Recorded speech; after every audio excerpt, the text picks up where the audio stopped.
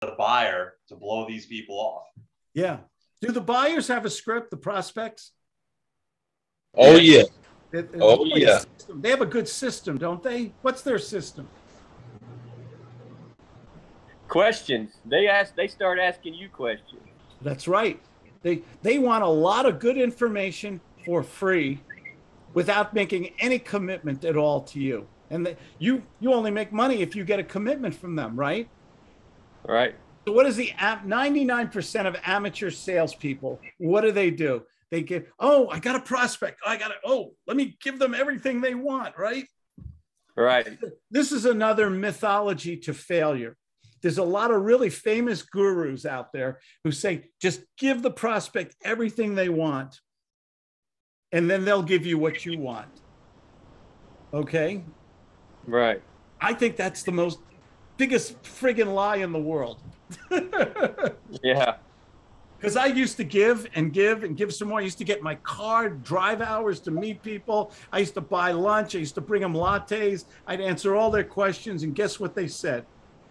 No. I'll think about it. I'll think of it. Claude, you're great. They give you a stroke and nurture. See, they use it too, but they don't know it. They don't have titles. Oh, you're great, man. God bless you. You're wonderful. Oh, I, I'm going to tell my wife about you. You know, and we're going to do some business someday. I, I, I really believe that. Uh, so uh, let me um, let me think about this. Give me a call in a week or two. Was that was that Nolan? Was that Nolan in the book? yeah. That that's Nolan in the book, right? Yep. Yep.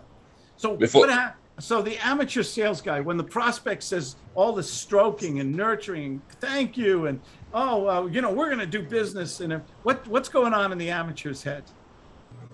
He's lo- he, he's uh, losing. He's losing. He's like, man, he's already. He feel like he's already lost a deal. No, I think he thinks he's got a deal. Yeah. He When they- thinks when they everything's come going great. Oh, when they say think about it, when they say I think about it, man, I got I get back with you. Well, they elaborate on it. Like, uh, Michael, you know what? You're thank you, man. I know you've been. It took you two hours to get here and to, to bring me the contract to look over and all this great information. Oh yeah, they they faking you out. They that's a fake move. They're doing a move on you. And I love that $10 Frappuccino you brought me ice cold. You're a great guy. Man, you're the kind of guy I like to do business with. I'll tell you what, let me look this over. I'm going to talk to my wife. We're going to be a little busy with Thanksgiving and the family. Can you can you get hold of me maybe after the New Year's or something like that? Yeah. Okay. What's going on in Michael playing the amateur? What's in Michael's head right now? I think that you. I think that I'm doing a really good job because what I've been told is that in order to sell, you have to be nice and you have to be liked. And I think being liked is important, but you have to be respected more than liked. I mean, you can't just just cave in and do whatever they want. You want to be liked, but you can't just let them run over you. Christian?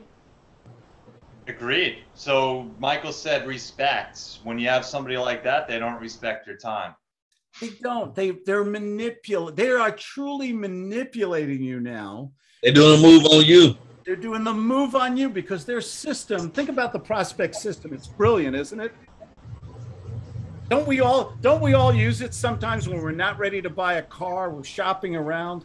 We're still in that investigative stage. We we want to know prices and accessories and we're not ready to make a commitment. What do we do? Automatic. I'll think about it. Sounds good. We stroke and nurture them. We go get quotes.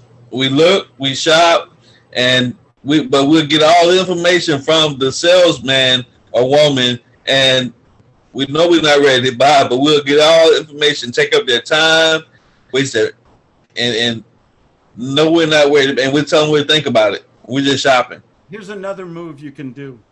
Okay, uh, tell me you want. Uh, uh, tell me you're interested, but you're you're not ready right now. Something like that. Give me one of you guys role play with me.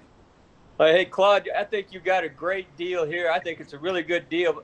But you know what? I, I just I got to talk to my wife, and we'll think about it and get back with you. All right? No, I, I, res- I respect that. I like a man who talks to his spouse. You've been married long?